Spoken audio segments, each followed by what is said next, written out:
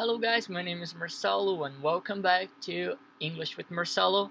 É, olá pessoal, meu nome é Marcelo e bem-vindos ao é, English com Marcelo ou Change com Inglês, tá bom? É, neste vídeo eu vou estar apresentando um verbo, né? Todos os vídeos aí um verbo e é, várias frases, né? mostrando aí exemplos de como você pode usar esse verbo junto com os vários significados que o verbo pode ter, tá bom? Lembrando que quando você aprende um vocabulário, não só verbos, qualquer vocabulário, é, você pode, eu recomendo, tipo, criar uma frase, né, com este verbo. É, pensa numa frase que você vai usar no futuro e isso ajuda bastante é, no processo de, de memorização da palavra, né? Então, é, fica aí a dica, alguns exemplos de como fazer a frase e você pode mudar também para sua própria frase, tá bom? Então, vamos ver, o verbo de hoje vai ser esse aqui. Então, pessoal, o verbo de hoje vai ser o verbo do, né? Do, que é o verbo, se escreve do, mas a gente pronuncia ele como do. E significa fazer, realizar ou trabalhar como, tá bom? Esse é o significado que o pessoal erra bastante. Então, vamos lá. É, I, né? Eu. I do my homework at night.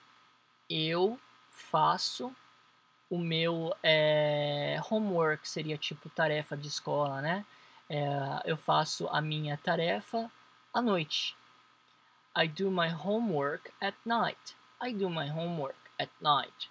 Ok? Então a gente pode trocar aí homework para outras coisas é, que você faça é, à noite, tá bom? É, mas se for verbos, é, tem que ser um outro verbo. Então, geralmente, se você for trocar isso daqui, tem que trocar por um substantivo, tá bom, galera?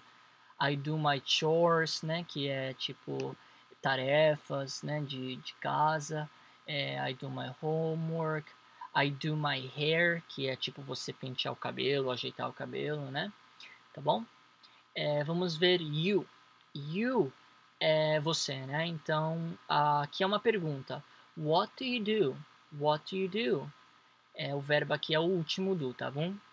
E aqui essa pergunta, galera, é uma pergunta que as pessoas erram bastante na hora de responder, porque, tipo, se a pessoa chega pra você e fala, what do you do? Eles pensam que você tá perguntando, tipo, o que você tá fazendo agora? Aí a pessoa até fala, ué, eu tô conversando com você, né? I'm, I'm talking in English. E não é isso. O que significa aqui é essa forma de trabalhar como. A gente está perguntando, what do you do? É o que você faz como trabalho, né? O que você faz da vida seria, né? O que você faz da vida, né? O que você faz é, profissionalmente. Então a resposta sua seria I work um, at a factory, ou, ou você pode falar tipo a sua profissão, né? I'm a teacher, I'm a doctor, I'm a lawyer, tá bom? Mas é, não é o que você está fazendo agora. A pergunta, tipo, o que você está fazendo agora seria What are you doing? Né? What are you doing now? Aí seria I'm talking in English, I'm learning English, tá bom? É, she, ela, né? She does her chores. Então, como vocês podem ver, para I e you, o verbo continua na mesma forma. Agora, para she e para it, já vai mudar, né? Vai ser does, tá bom? Então, aqui para ela ficou she does her chores. Ela faz é, os chores, né, que são as tarefas tipo de casa, coisinhas assim, né, dela, né? Então ela faz as tarefas dela, ela faz o trabalho dela, né, seria. It, né? O it aqui é it doesn't, it doesn't.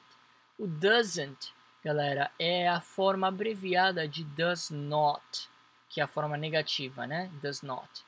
Então esse it doesn't aqui a gente é, usa bastante como resposta para uma pergunta que começa com does, né?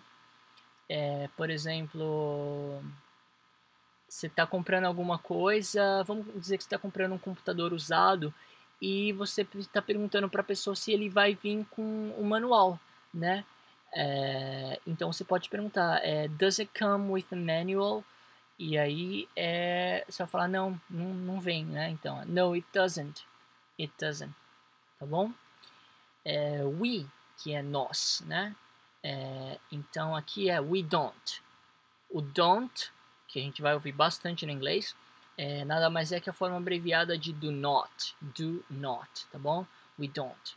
E aqui também pode ser uma resposta para uma pergunta, né? Do you, é, por exemplo, do you know, do you know where's mom? Né? Você sabe aonde vocês, no caso, né? Aqui que a resposta é we, né? Então vocês sabem aonde a mãe está, né? Onde a mãe foi.